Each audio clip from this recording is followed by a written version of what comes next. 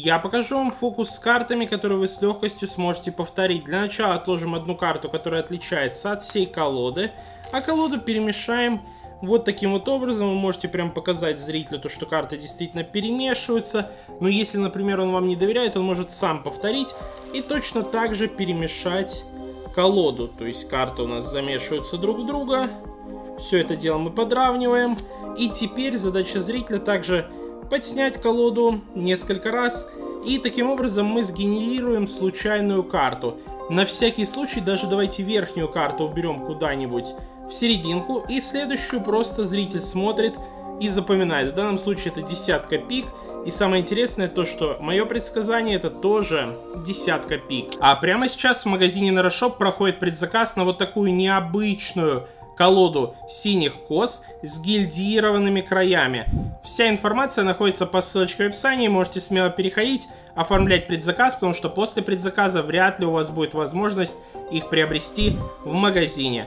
Ну а мы переходим к обучению. Чтобы повторить этот фокус, вам понадобится две одинаковые карты из разных колод.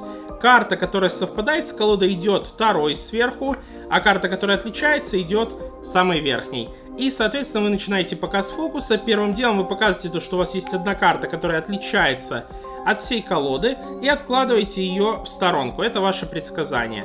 Далее, сейчас сверху у нас находится вторая десятка из оригинальной колоды. И вы просто кладете колоду вот так, и вам нужно перемешать карты, сделав обычный рифл-шаффл на столе. При этом, единственное, зачем вам нужно следить, в начале, куда у нас идет, в какую стопку верхняя карта, а потом просто сохранить ее сверху. И все.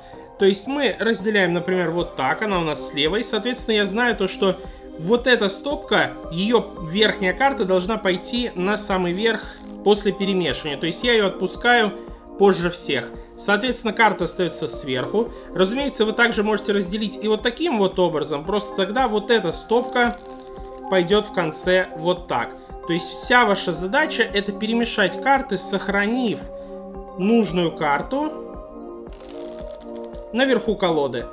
И мы задвигаем карты, но не до конца, и делаем вот такую ленту, то есть карты ставим от себя и раскрываем вот так. Первый раз можно не очень широко раскрывать, просто показав зрителю то, что карты перемешиваются.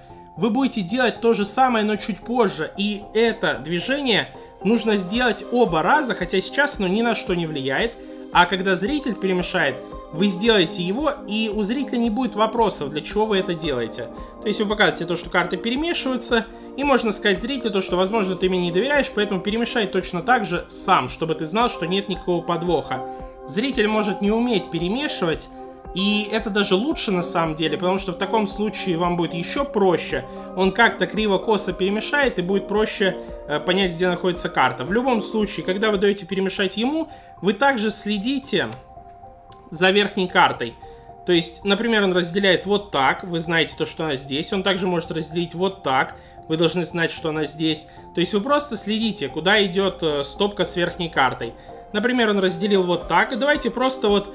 Он может перемешать неуклюже, и, например, вот давайте просто для примера вот так. Например, он перемешал, кучу раз сказал слово «например», но ничего страшного. И после этого вы делаете ленту, но пошире, чтобы видеть э, сколько карт находится над верхней. В данном случае одна. Может находиться две, может три. Э, в зависимости от этого, именно это количество карт вы будете убирать э, перед раскрытием карты. То есть после этого вот так подравниваете все это дело. Понимаете то, что будет накрыто все одной картой. И теперь, чтобы закрепить то, что колода перемешана, вы просите зрителя подснять карты вот так. То есть тройное ложное подснятие, когда вы его делаете, оно выглядит не очень, да? Но, когда вы просите зрителя сначала поставить одну стопку сверху вот так, то есть вы не говорите сверху, вы просто просите его, подсними стопку сюда, сюда и сюда. После этого на несколько секунд вернитесь к карте предсказания. То есть скажите, смотри, у нас здесь карта предсказания, и я уверен, то, что карта, которую ты случайно выберешь, будет совпадать. То есть мы немного уводим его от этих стопок, и после этого просим, показывая вот так, соединить их. Готово. Теперь у нас вторая карта в колоде, это десятка пик. И все, что нам нужно сделать, это убрать верхнюю карту. И мы это делаем под идеальнейшим прикрытием. Мы говорим, смотри, Даже если ты думаешь, что, что я там мог как-то посмотреть верхнюю, нижнюю, возьми верхнюю карту, убери куда-нибудь в центр, возьми нижнюю, убери в центр, это абсолютно не важно. Ты сам перемешивал, сам подснимал. И теперь просто запомни вот эту карту. Не говорите верхнюю, просто говорите вот эту. Он ее смотрит, запоминает, и она идеально совпадает с предсказанием. Надеюсь, ролик, как и сам фокус, вам понравились. Не забывайте то, что по ссылочке в описании вы можете оформить предзаказ на гильдированную версию колоды синих кос. Ну а с вами, как всегда, был Нейроянг. Всем удачи, всем пока.